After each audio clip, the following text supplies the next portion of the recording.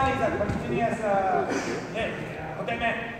えーゆっくりと構わないので正しく行ってください Making sure do it correctly. You can do it slow. Look, 必ずお互いに攻め合いをします making sure start with seven each side.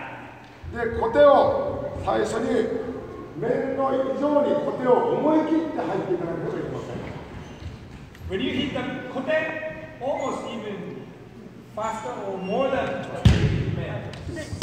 Same thrust. 小手をでネクスト小手メインですはい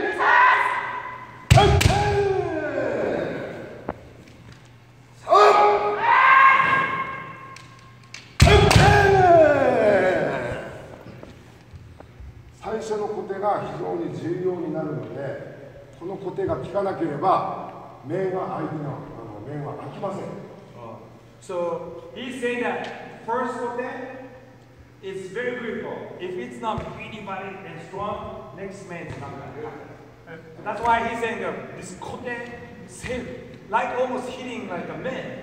Strong thrust. That's not gonna, that's not gonna work. しっかりと最初のコテを力強く力強くここから。力強く攻めて攻めて。